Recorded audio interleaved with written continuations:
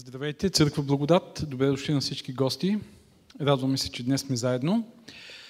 Продължаваме с посланието на Яков, като стигаме до най- най-провокативната част от това послание. Един текст, който а, толкова силно е провокирал Мартин Лутер, който стои така в основата на процеса на реформацията, че той е смятал, че посланието на Яков не е боговдъхновено дори. Поставял го е под съмнение. Той го е наричал сламеното послание. Защо? Защото апостол Павел пише, че основата, на която градим нашата християнска вяра е Исус Христос. И на тази основа различните хора могат да градят злато, сребро, скъпоценни камъни, други могат да градят дърво, слама и така нататък. Златото, скъпоценните камъни, това са благодатта, вярата, оправданието чрез вяра. Всички от тези други такива дребни неща, които той казва ще бъдат изпитани с огън и ще изгорят, може да са именно тези неща, за които а, Лутер е смятал, че Яков пише. Делата, човешките дела, които нямат стойност в очите на Бога и нямат стойност за спасението на човека. Текста, който ще разгледаме е онзи текст, в който Яков казва човек се оправдава и чрез дела. Как ви звучи това? Човек се оправдава и чрез дела. Звучи много еретично. Особено на фона на това, което изучаваме последните, последната половин година.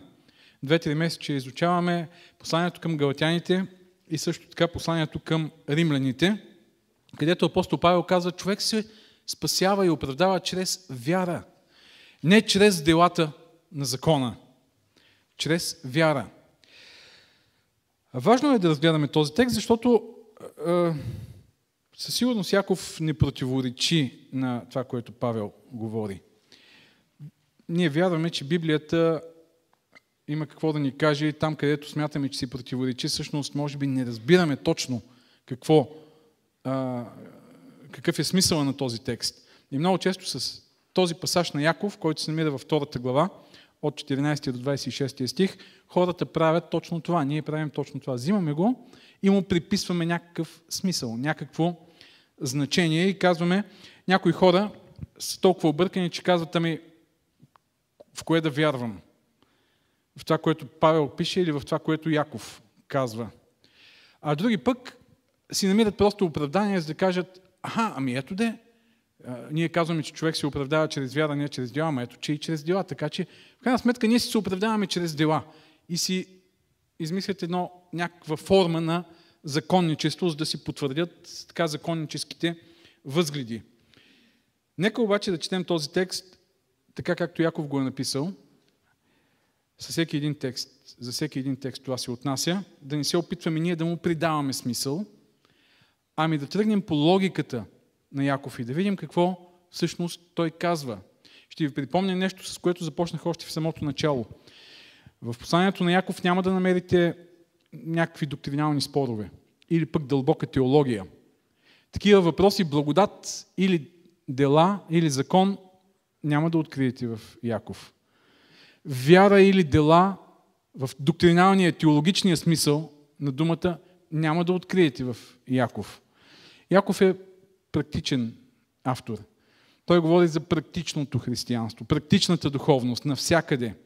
И тогава, когато се опитаме да внесем от този тип теология и да четем Яков през очите на Павел или да тълкуваме понятията, които Яков използва, по начина по който Павел ги използва, наистина ще се объркаме. Така че, нека да се опитаме да следваме неговата логика и да видим какво той ни казва. Яков, 2 глава, от 14 до 26 стих.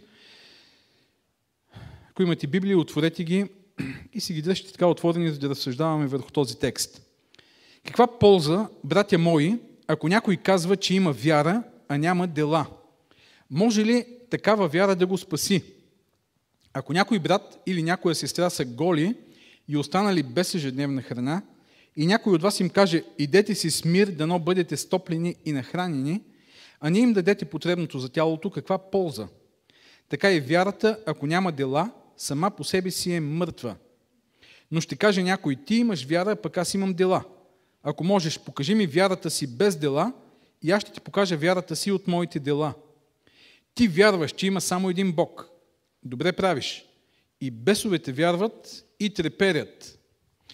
Обаче искаш ли да познаеш, о суетни човече, че вяра без дела е безплодна? Авраам, нашият отец, не се ли оправда чрез дела, като принесе сина си Исак на жертвеника? Ти виждаш, че вярата действаше заедно с делата му и че чрез дела се усъвършенства вярата. И се изпълни писанието, което казва Авраам повярва в Бога и това му се вмени за правда. И се нарече Божий приятел. Виждате, че чрез дела се оправдава човек, а не само чрез вяра. Така също и блудницата Рав не се ли оправда чрез дела, като, принесе, като прие пратениците и ги изпрати бързо през друг път. Защото както тялото без дух е мъртво, така и вярата без дела е мъртва. Ето го тук този текст. Яков сякаш нарочно е провокативен. Привлича вниманието, провокира мисленето на неговите читатели, защото явно той се изправя пред един проблем, който е бил проблемът на теоретичната вяра, проблемът на, на теологичната вяра, вярата на концепциите, вярата на идеите, която стои някъде там в света на идеите, но няма никакъв досек до реалния живот на човека. Всъщност, Яков говори, това е много важно да разберем какво има предвид, говорейки за вярата и дела тук. Казахме спора вяра или дела, или вяра плюс дела, при Яков не съществува. Той говори за вярата, като има предвид качеството на тази вяра. И когато говори за делата, той има предвид не делата като нещо отделно, което го прибавяме към вярата, ами като нещо, което показва какво е качеството на тази вяра. Вижте 17 стих. А, да, 17, 20, 26, 14 стих също. Каква полза, брати мои, ако някой казва, че има вяра, а няма дела? 17 така и вярата, ако няма дела, сама по себе си, сама по себе си е мъртва. Тоест той говори за качеството на вярата, а не дали към вярата е необходимо да прибавим и делата.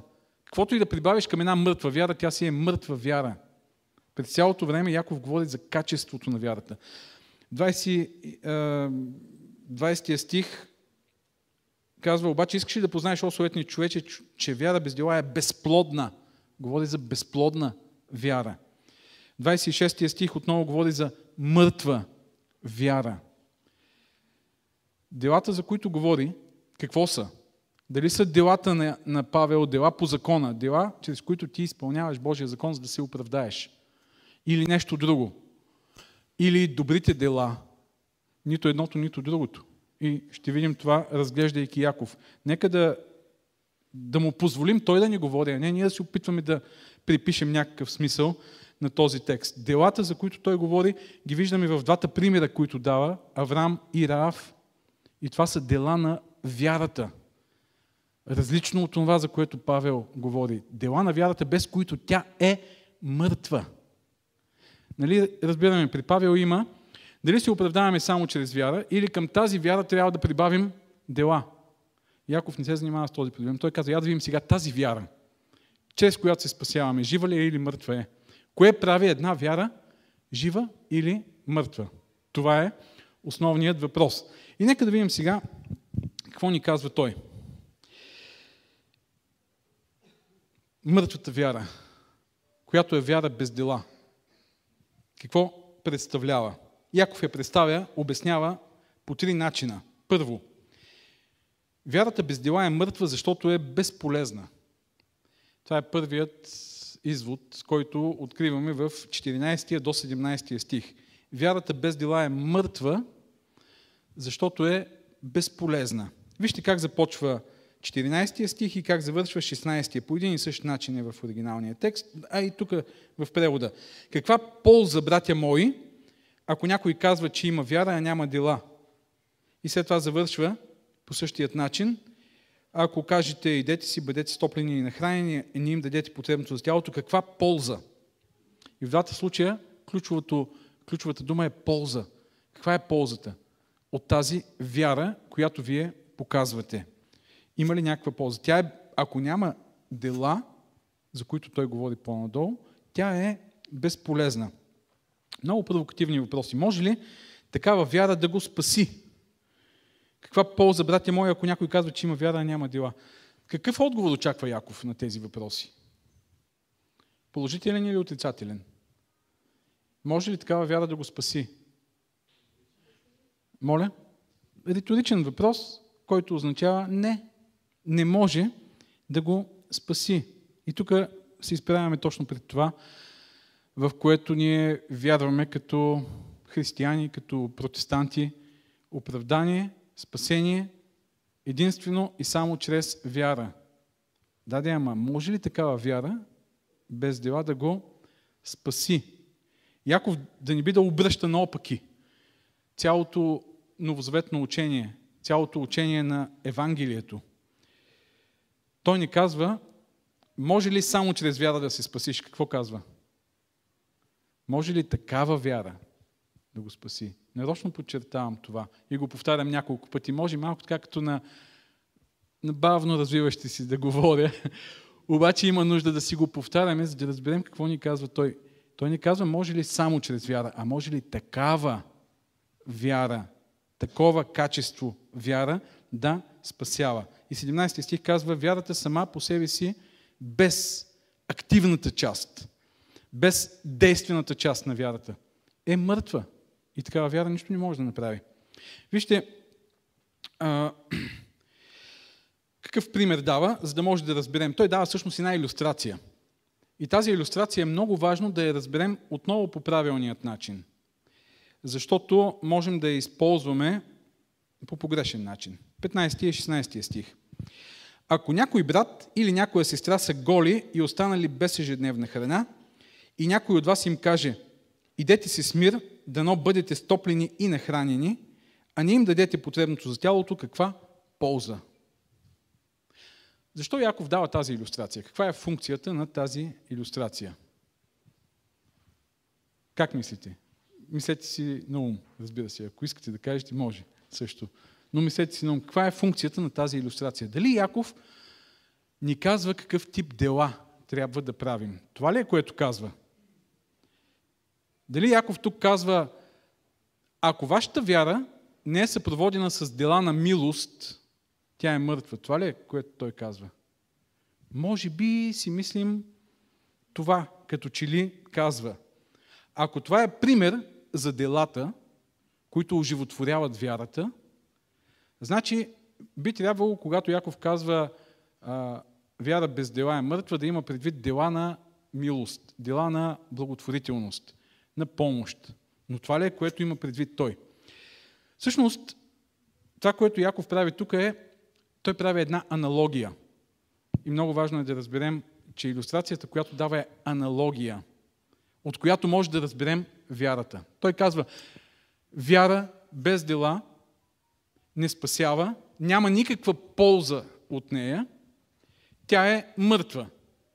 И сега аналогията е както, ако един човек е гол, гладен и някой от вас го види и каже най-хубавите думи, най-добрите пожелания изрази. Иди си с мир, човече. Бъди стоплен и нахранен. Бъди благословен. Как ще се почувства този човек? Стоплен, нахранен и с мир. Така ли? Какво ще се промени в неговото състояние? Абсолютно нищо.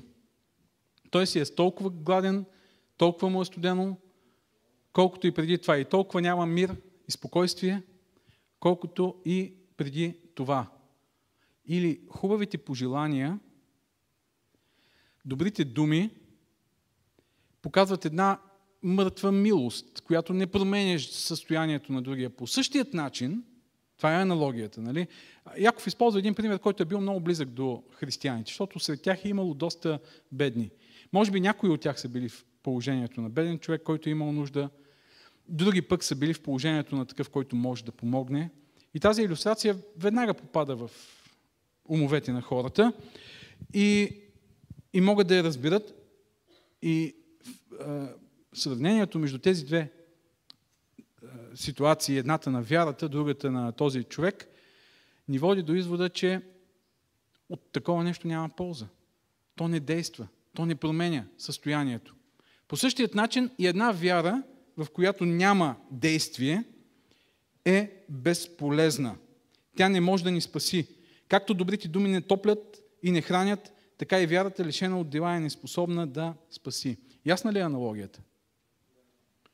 Безжизнената вяра, лишена от дела, е безжизнена, както едни думи, които не следват някакви действия, са абсолютно безполезни и безжизнени да променят състоянието на човека. Ето това е първото обяснение, което откриваме тук в този текст по отношение на мъртвата вяра. Аз вярвам в Бог. Окей, това са хубави, хубава изповед нали, на вярата. Вярвам в Исус Христос като мой Господ и Спасител. Това е прекрасна изповед, която правя. Вярвам, че това е истина, вярвам, че Исус ще дойде скоро, вярвам, че сме спасени чрез Неговата жертва на кръста. Страхотни думи, хубави декларации, които правя. Ако обаче те не са свързани с живота ми, нямат някакво реално действие в живота и да се отразяват в ежедневието, тогава тези декларации са абсолютно безполезни. Каква полза от една такава вяра? Все още той не е казал какви са делата. След малко ще говорим за делата. Какви са тези действия, за които той има предвид, че оживотворяват вярата. Но първият извод, първият, първото важно заключение, което прави вяра без дела е мъртва, защото е безполезна. Никой няма полза от нея. Второ, вяра без дела е мъртва, защото е недоказуема, невидима. 18 и 19 стих. Но ще каже някой, ти имаш вяра, пък аз имам дела. Ако можеш, покажи ми вярата си без дела и аз ще ти покажа моята вяра от моите дела. Спираме до тук 18 стих, след малко ще прочетем и 19 Повечето коментатори смятат, че това е един от най-трудните текстове, новозаветни. По редица причини, сега няма да навлизаме вътре, навътре в този текст, но това, което е ясно от него, е, че Яков въвежда двама такива въображаеми опоненти, които дискутират въпроса за това дали вярата може да съществува отделно без делата и делата отделно без вярата и по какъв начин може да бъде доказана една такава вяра, която не е съпроводена с някакви дела. Какво е вярата? Какво е вярата? Моля? Убеждение за неща, които не виждаме. Но това убеждение, виждаме ли го самото него? Само по себе си то е невидимо. Аз казвам, аз мога да го изразя, да го изразя с думи и да кажа, аз вярвам. Да, обаче как, как ще го видиш? Това, че аз го вярвам. Това са нашите мисли, нашите убеждения, нашите ценности, които са ни в главата, невидими са. Дали е жива или мъртва тази вяра, няма как да се разбере. Ние можем само да я заявим, можем да я декларираме, както тук в 14 стих казва, каква полза, брати мои, ако някой казва, че има вяра. Тук не става въпрос дали той я има. Яков изобщо даже не казва, ако има вяра, пък няма дела. Ако някой казва, защото да казваш се още не означава, че ти имаш. Има толкова невидими неща около нас.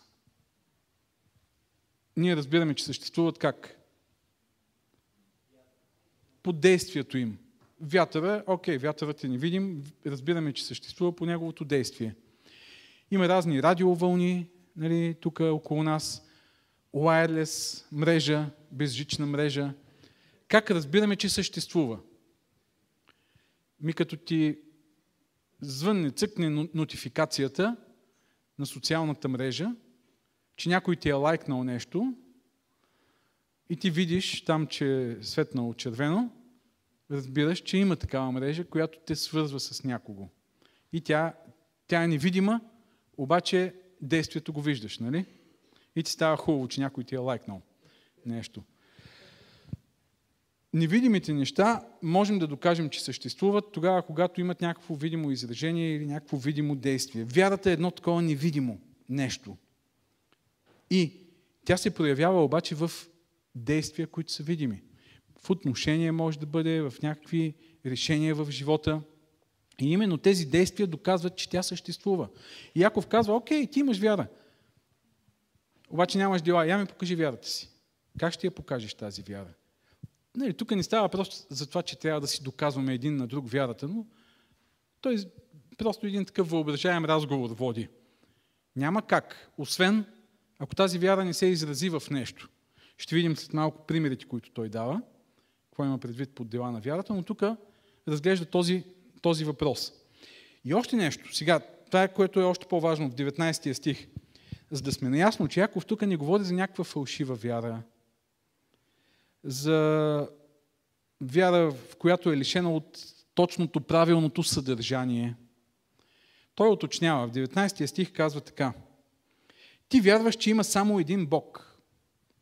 Добре правиш. И бесовете вярват и треперят.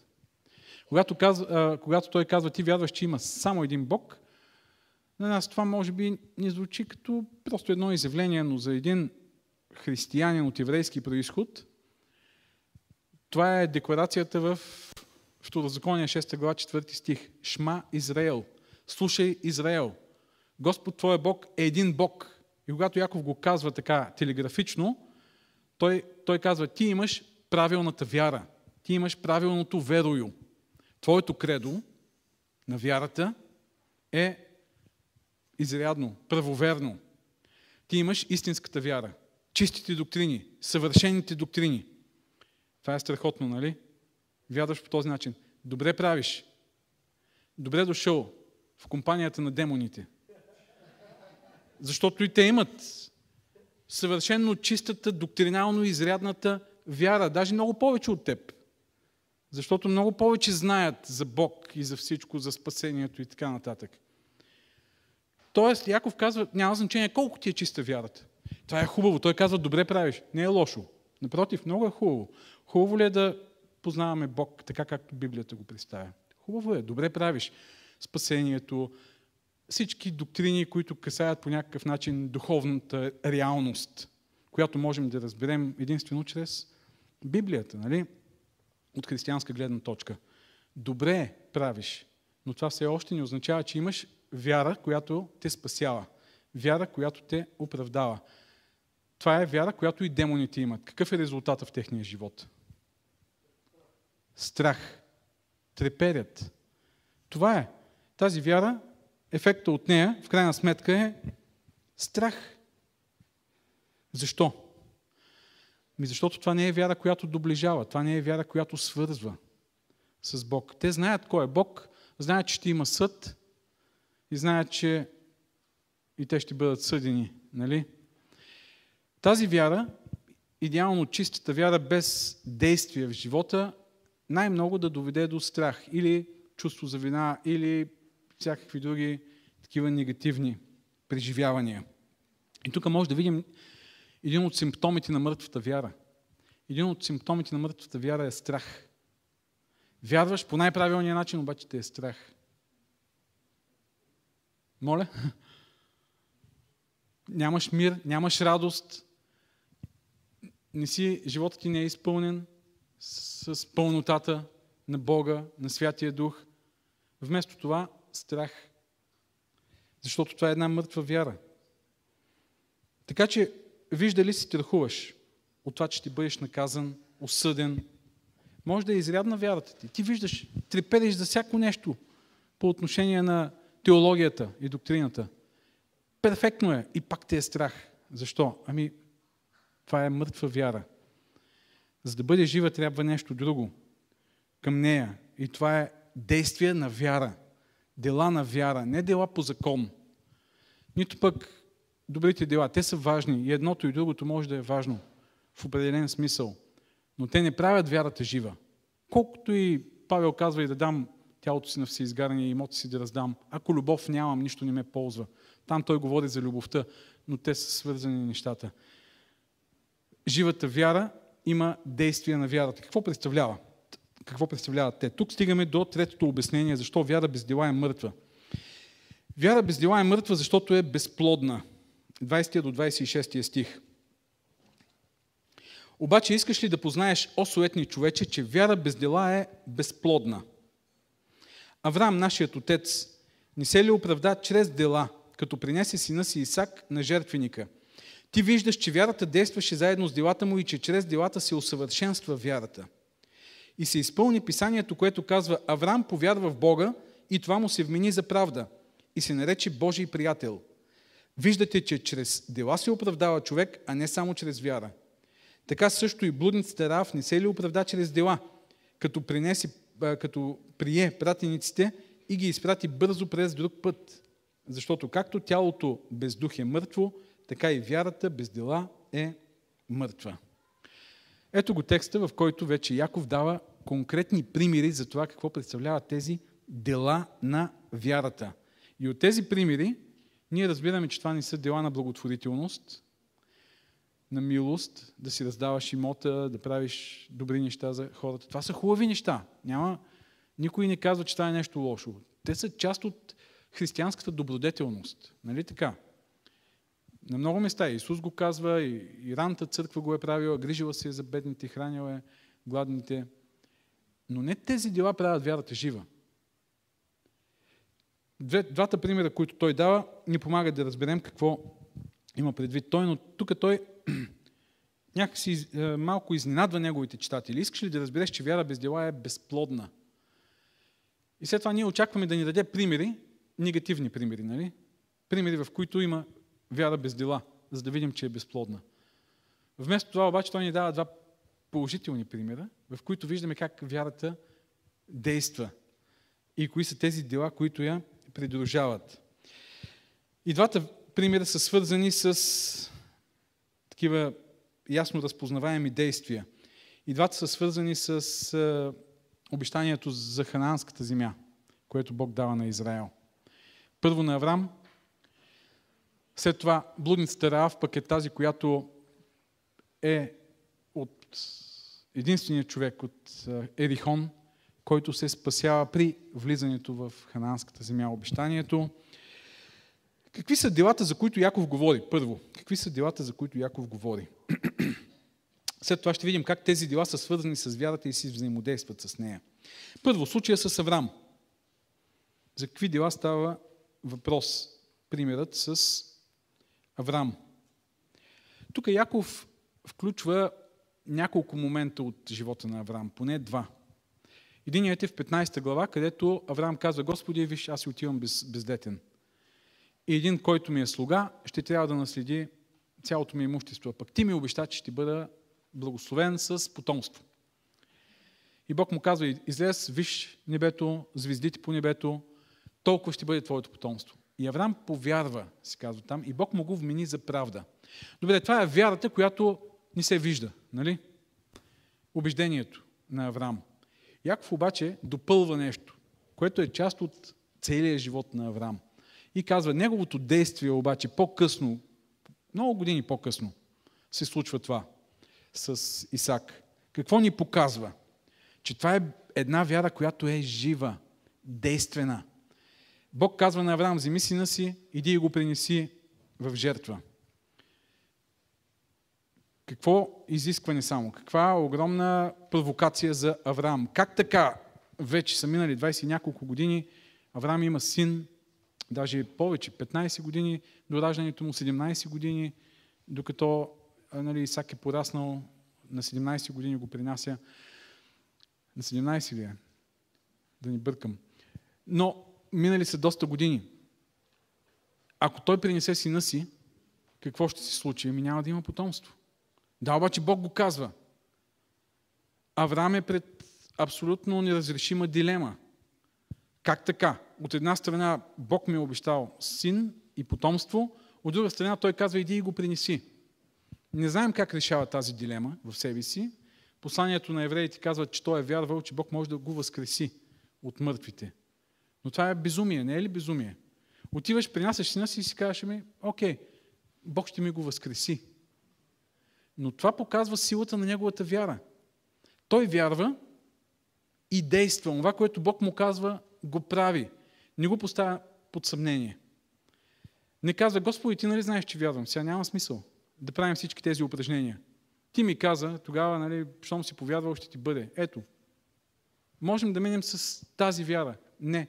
Авраам отива и го прави. Ето това е действие на вярата. Дело. Дело по закон ли е това? Не. Дело против закона е даже. Ако го погледнем чисто, така да го оценим е, от гледна точка на Божия закон. Добро дело ли е? Дело на благотворителност ли е? На милост ли е? Не. А какво дело е? Безумно дело, нелогично дело, нерационално дело, противоречиво дело. Но е дело на вярата. Защо? Защото отразява неговата вяра. Защото е действие, което е подбудено, въпреки всички страхове, предизвикателства, подбудено от неговата вяра, че Бог, в крайна сметка, щом иска нещо такова, той ще си намери начин да се справи с тази дилема, неразрешима за мен дилема. Това е делото на вярата, което прави вярата жива. Следващият пример е с блудницата Раав. Какво се случва при нея? Ерихон е първият град, който евреите завземат. Помислете си, ерихонците са наблюдавали евреите и са слушали за тях, разказвали са най-различни легенди. Излезли от Египет, обаче 40 години обикалят пустинята. Нямат оръжия, а, такъв скитнически народ, бедуини. И сега тези хора ще дойдат и ще завземат един от най-силно укрепените градове, който има армия, въоръжена армия. Безумие е това, нали? Всички смятат, че е абсолютно безумие. Само, че там една блудница, проститутка, повярвала, че това, което Бог е казал, ще го изпълни за тях. И двама съгледвачи идват, влизат в нейния дом и тя решава да ги спаси и им казва, като дойдете тук и завземете града, спасете мен и дома ми. И те й обещават това нещо. И тя повярва. И даже лъже стражата, която идва да каже, нали, тук имаше двама души, къде отидаха. И тя казва нататък, скрива ги горе на покрива и след това ги пуска да избягат и ги спасява. Това е, това е измяна, нали? Държавническа измяна. Държавна измяна. Углавно престъпление. Лъжа. Това дело по закон ли е? Скандални дела дава Яков като пример, но е дело на вяра. Тази жена вярва и заради вярата си е готова да мине през целият този риск да спаси живота на тези двама души, защото вярва, че са Божии пратеници и вярва, че Бог ще им даде Ерихон и цялата хананска земя. Ето ги делата на вярата. В първия случай безумно нелогично действие, във втория случай също една безумна постъпка от е, такава човешка гледна точка логика. Няма никаква гаранция тази жена, че някой нещо ще даде. Тя просто вярва, че това ще се случи. Това са делата на вярата.